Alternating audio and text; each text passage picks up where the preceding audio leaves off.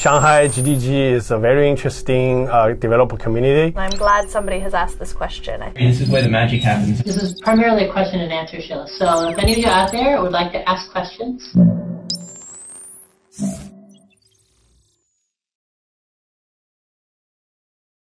Uh, today in this uh, GDLIL episode, we'll speak a little bit about the new Chromebook, and then I would love to dive uh, more into new things that uh, any web developer should know about Chrome DevTools and how they could leverage them and be more productive when they are building their next uh, web app or mobile web app. So without further ado, uh, let's start and try to go. I have this short list of things that we could go and work on it together.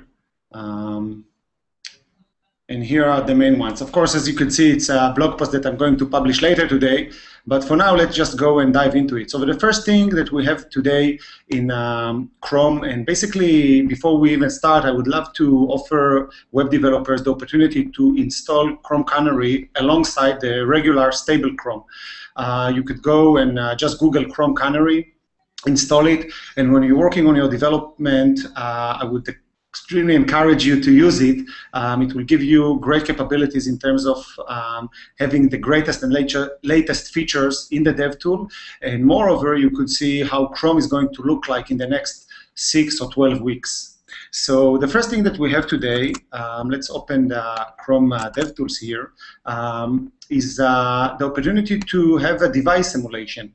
So it's true that in the past we had this opportunity with other simulator that we needed to install. Uh, for instance, the iPhone simulator on Mac, on any iOS, and then for Android we have uh, simulators that working on um, Windows, Mac, and others platform.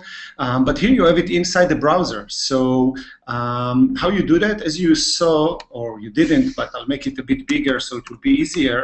Um, I opened the Chrome DevTools. Uh, let me do this a bit bigger as well. Okay. So I'm going here to this button, clicking on it, and now when I have the setting opportunity, what I can do here is basically override the functionalities. Uh, the main functionality that I could override is the user agent, and uh, that just allow me pretty easily to uh, mimic um, any mobile device that I wish to do or different browser. It's very, very convenient and efficient to see how your site or web app will look on, uh, let's say, uh, Android uh, uh 2.3 or uh, BlackBerry, and so on. So that's the first thing. The other thing that is very cool is the device metric. You can now basically enter any device metric that you want to check, but even more uh, cool than that, and you saw here, of course, that it's just changing. If you overriding the user agent, it will automatically fit it. So if I'm working now on iPhone 5, you could see that it fill for me the device metric. And that's a great thing because it's uh, just letting you work with the exact device that you wish and get the exact uh, screen resolution that you'll have there. So that's uh, one very cool feature that we have today. Um, and basically, there's a ton of other features in the settings. So if you want to drill down it and see exactly what you're getting there, um, this is the new view. Um, another very important thing is to emulate touch event. So if I'm clicking this uh, checkbox, from now on, I'll get um, touch event, and specifically for uh, mobile applications, um, this is very, very crucial. So we don't need to use what we used in the past, like um, listening to an extra event and then have the ability to have click event and touch event. Here, what we're doing is pretty straightforward. We're just emulating touch event, and from now on, our regular Chrome in our desktop environment will act and will fire those uh, touch events. So that's another uh, pretty cool uh, new add-in. Um, other things that uh, we have in uh, Chrome uh, DevTools are actually under the experiments. Um, and the experiments uh, flag could be um, trigger on by just going to Chrome flags. Let me, let me open it and just showing it to you. So here basically you're seeing all the different experiments that you could uh, do today under Chrome. Um, the list is very long as you could see. Um, and what I really like in it is that you, if you search just for DevTools, tools, yeah, so enable developer tools experiments, and in my case it's already enabled, um, you could see uh, things, sorry, it's not enabled. Let me enable it. Um, or even better, yeah, let me enable it here. Okay, and now if I'll go here and reload it,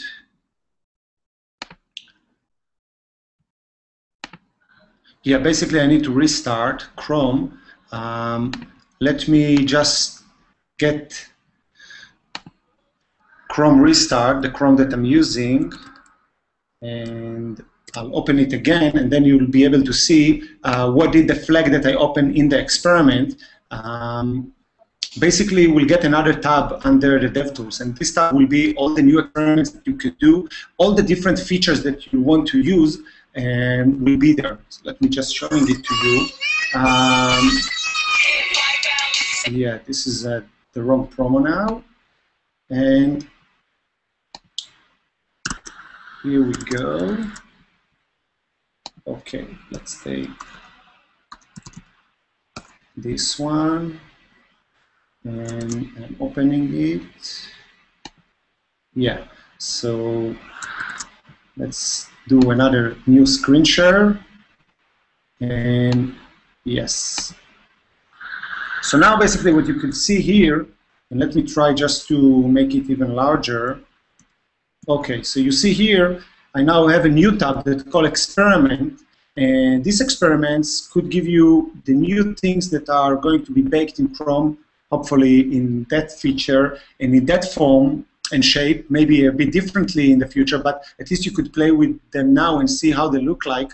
Um, show CPU activity in timelines, or override the device geolocation, orientation, uh, support Sass, um, lots of very, very cool things. Um, the snippet support is one of the things that I really like, and you could actually drive into JSON objects and see them in a very nice uh, format in the console today. So that's something that uh, we should open.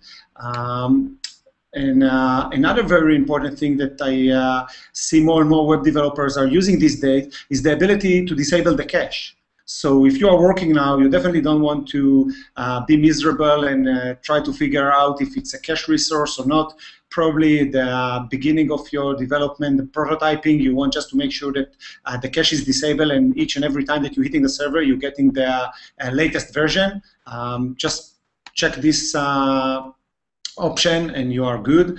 Um, other cool things that uh, you could do here is enable a source map. Source map is the option to work with the original form of the file. So let's say that you're having in your build system a minification for your JavaScript or some uh, other phase. Let's say if you're working with Dart and you have it compiled to JavaScript, basically with source map you could debug with the original code base. And that's of course extremely useful, uh, specifically when you're working in those cases that you don't want to work with the code that um, been manif- manified. You just want to work with the source of it. Um, um, what other cool things that I worked? Uh, the ability to log XHR is very nice, and um, just to see the Shadow DOM in places that you're working with them, it's also a very nice thing. Um, in terms of rendering, uh, to show um, uh, the repaint uh, rectangulars is very nice just to have the visualization what's going on with your site um, in terms of rendering. Um, that's basically uh, most of the things that I wanted to dig from DevTools inside the settings. Um, another uh, great capability uh, that have been covered in last Google I/O Um, was the ability how to debug uh, mobile websites. Let me just show you um, where you could find it. Mm.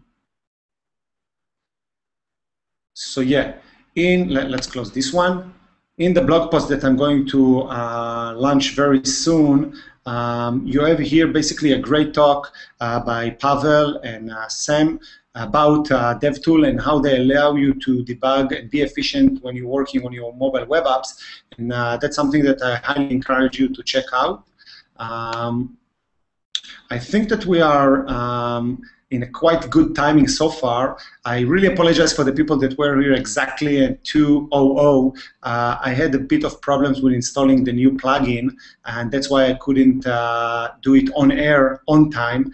Uh, but I promise that uh, in the next episode, hopefully, will be an exact uh, 2.00 and not uh, 2.0 something.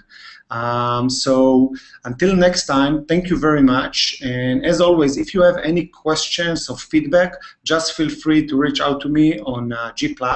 It's um, just Google uh, Greenido or if you want on Twitter, uh, Greenido is one word as well. And if you have a cool startup that you want to showcase in this uh, episode, just feel free uh, to reach out to me. I'll uh, share show notes uh, for all this episode on my blog, and I'll put a link there for people that want to be on the show just to fill a short form, and then uh, we'll uh, contact with you. Uh, we have quite a lot of uh, very interesting episodes that we're going to run in the next few weeks. Some of them will be based on uh, great people that I met yesterday in DLD Tel Aviv. Um, it's a big, big uh, Yossi Vardi festival, and uh, lots of uh, great uh, VCs, angels, and developers were there. Uh, we had two amazing events uh, Google for Women Entrepreneurship 2.0, and the other was what Android can do. And for people in Israel that are not part of the GDG, I highly encourage you to check it out. They are um, almost bi-weekly or monthly meetings and in most of them you have great speakers great content and you're just meeting very cool people that are all passionate about android chrome html5 and what's cool on the web uh, with or without google platforms. So just feel free to hang out with us and uh, thank you very much. Bye bye